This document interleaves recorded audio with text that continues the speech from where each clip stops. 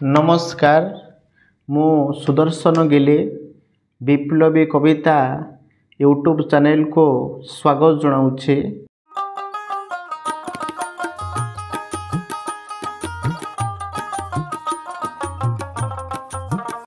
ଆଜିର ପ୍ରସଙ୍ଗ ହେଉଛି ବିଦ୍ୟାଳୟ ଓ ଛାତ୍ର ମଧ୍ୟରେ କି ସମ୍ପର୍କ ଥାଏ?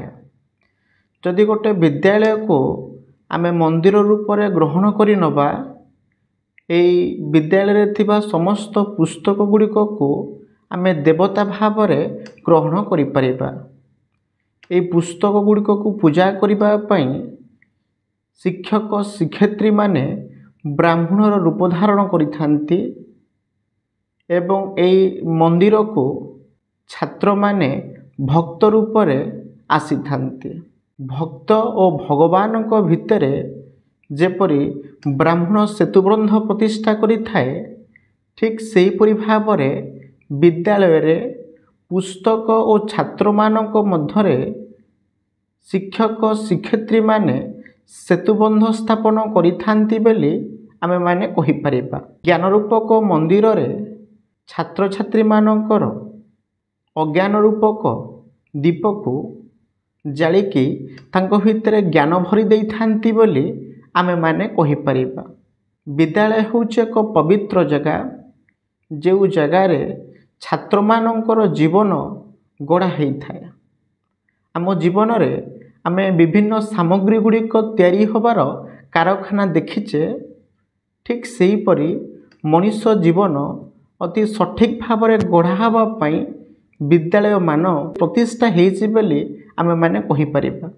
ଆମେ ମନ୍ଦିରକୁ ଗଲେ ଆମ ମନ ଭିତରେ ପବିତ୍ରତା ଆସିଥାଏ ଧାର୍ମିକ ଭାବନା ଜାଗ୍ରତ ହେଇଥାଏ। ଆମେ ଧର୍ମ ଅର୍ଜନ କରିଥାଉ ବା ପୁଣ୍ୟ ଅର୍ଜନ କରିଥାଉ ଯାହାଫଳରେ ଆମେ ମୃତ୍ୟୁ ସମୟରେ ଆମ ସାଙ୍ଗରେ ଆମେ ଧର୍ମକୁ ନେଇ ଅତିକ୍ରାନ୍ତ କରିଥାଉ। ଠିକ୍ ସେହିପରି ଆମେ ଜ୍ଞାନ ରୂପକ ମନ୍ଦିର ବା ବିଦ୍ୟାଳୟକୁ ଗଲେ ଆମେ ଜ୍ଞାନ ଅର୍ଜନ କରିଥାଉ। ଆମ ଭବିଷ୍ୟତକୁ ଏକ ସୁଢ଼ଳ ଢଙ୍ଗରେ ଗଢ଼ି ତୋଳିଥାଉ ଏବଂ ଜୀବନରେ ଆମେ ବହୁ ଉଚ୍ଚ ଜାଗାକୁ ଯାଇପାରୁ ଏବଂ ଆମ ଜୀବନର ସମସ୍ତ ଲକ୍ଷ୍ୟକୁ ପୂରଣ କରିପାରିବୁ ଏବଂ ପ୍ରଚୁର ପରିମାଣରେ ଅର୍ଥ ଉପାର୍ଜନ କରିପାରିବୁ। ଆମମାନଙ୍କ ପାଇଁ ମନ୍ଦିର ଯେତିକି ଆବଶ୍ୟକତା ରହିଛି ସେହି ପରିମାଣରେ ଆମ ପାଇଁ ମଧ୍ୟ ବିଦ୍ୟାଳୟ ଆବଶ୍ୟକତା ରହିଛି। ଆମ ପାଇଁ ମନ୍ଦିରର ବ୍ରାହ୍ମଣ ଯେମିତି ଭକ୍ତ ଆଉ ଭଗବାନଙ୍କ ଭିତରେ ସେତୁବନ୍ଧନ ସ୍ଥାପନ କରିଥାଏ ବା ମଧ୍ୟସ୍ଥି କାର୍ଯ୍ୟ ନିଭେଇଥାଏ ଠିକ୍ ସେହିପରି ପୁସ୍ତକ ଏବଂ ଛାତ୍ରମାନଙ୍କ ମଧ୍ୟରେ ଶିକ୍ଷକ ଶିକ୍ଷୟିତ୍ରୀ ଉଭୟଙ୍କ ଭିତରେ ଯୋଗସୂତ୍ର ସ୍ଥାପନ କରିଥାନ୍ତି ଏବଂ ଉଭୟଙ୍କ ଭିତରେ ଗୋଟେ ସୁସମ୍ପର୍କ ସ୍ଥାପନ କରିଥାନ୍ତି ବୋଲି ଆମେମାନେ କହିପାରିବା। ଆମେ ସେଥିପାଇଁ ସମସ୍ତେ ମନ୍ଦିର ଯିବା ଏବଂ ବିଦ୍ୟାଳୟକୁ ମଧ୍ୟ ଯାତ୍ରା କରିବା। ଗୋଟେ ଛାତ୍ର ପାଇଁ ଗୋଟେ ବିଦ୍ୟାଳୟ ଅତ୍ୟନ୍ତ ଆବଶ୍ୟକତା ରହିଛି। ବିଦ୍ୟାଳୟକୁ ଯିବା ପରେ ତା'ର ପ୍ରାରମ୍ଭିକ ଶିକ୍ଷା ଆରମ୍ଭ ହୋଇଥାଏ।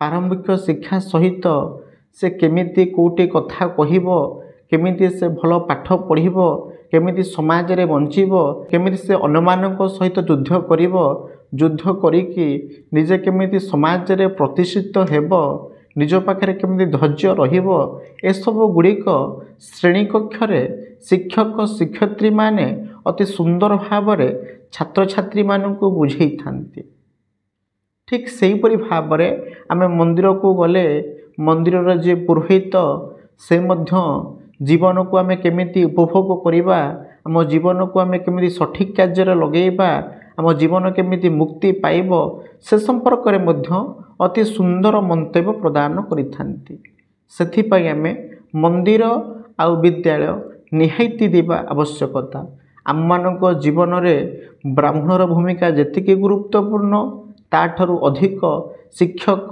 শিক্ষয়িত্রী বা গুরু গুরুমানঙ্কর ভূমিকা আমার জীবনের বেশ গুরুত্বপূর্ণ বলে আমি মানে কহিপারিব যদি মোর এই আলোচনাটি পাঠক মানুষ কিছু মাত্রায় প্রভাবিত করিথিব তাহলে মো চ্যানেলকু সবসক্রাইব করবে লাইক করবে শেয়ার করবে এবং নিজস্ব অভিমত নিশ্চিত ভাবে প্রদান করবে জয় জগন্নাথ